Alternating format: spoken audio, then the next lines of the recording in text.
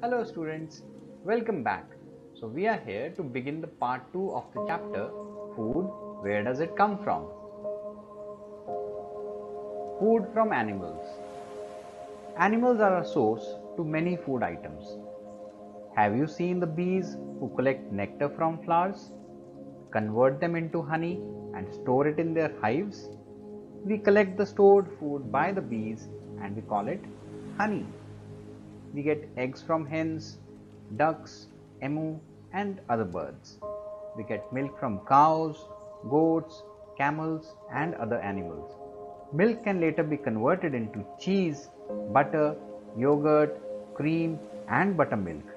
These are called the dairy products. We get meat from fish, goat, pigs, and poultry.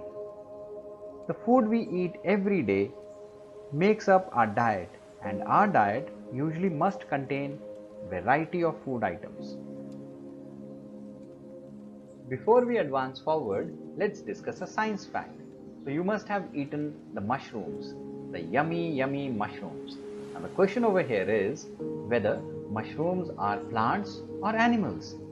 Put on your thinking caps and keep thinking. To our amazement, mushrooms are neither plants nor animals. They belong to the fungi kingdom, which is very different from the animal and the plant kingdoms. As food, mushrooms resemble vegetables, but in nutritional contents, particularly proteins, they resemble animal meat. Some are edible and some are deadly. Button mushrooms are the most common mushrooms that people eat throughout the world. Now let's have some examples for the edible as well as inedible mushrooms. So the edible ones are the button, the morel, the porcini and the king oyster whereas the inedible are helvella, webcap, deathcap and Conocybe filaris.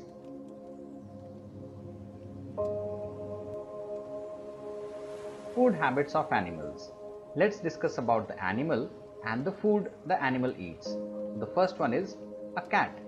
Cat likes to eat birds, milk and small animals.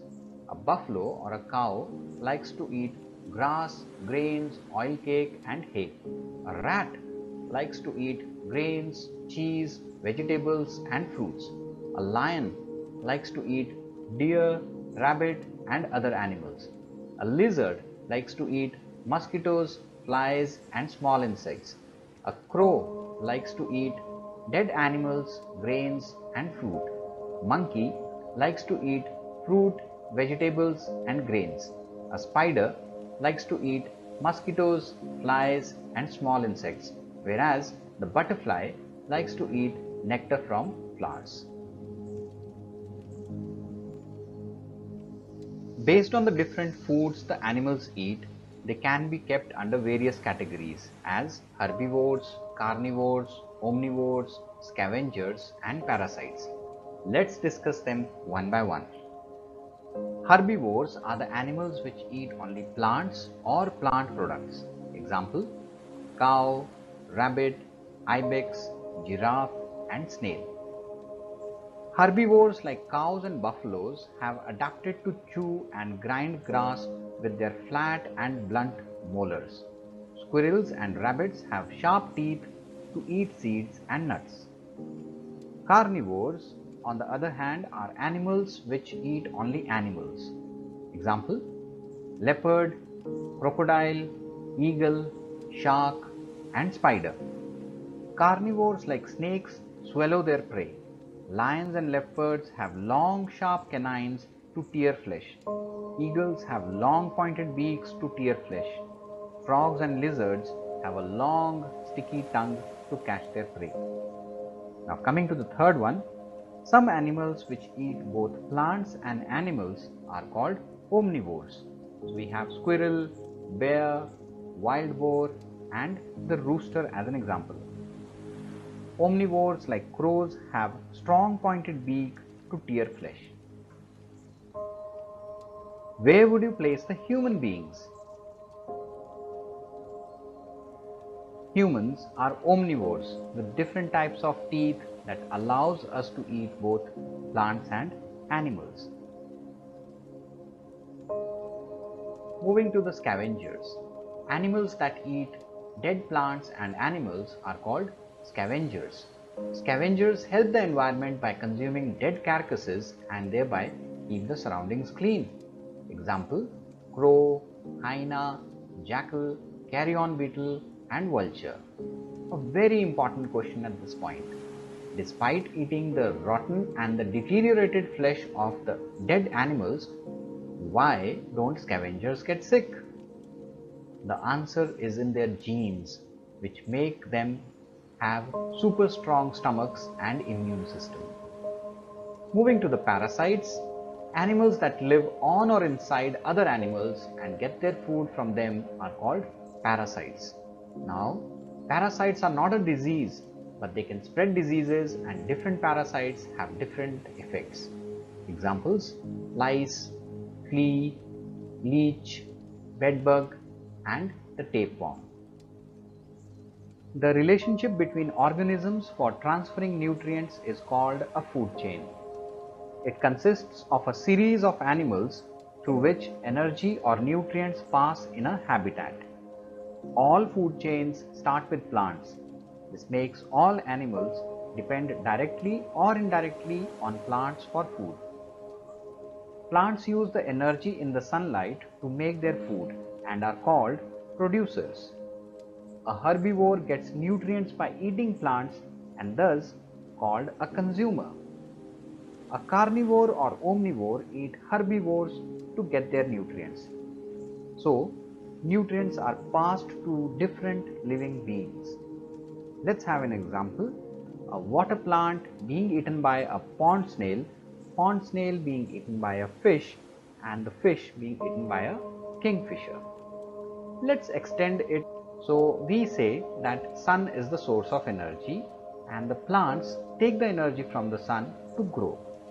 Plants are further eaten by a locust or a cricket which in turn can be eaten by a rat.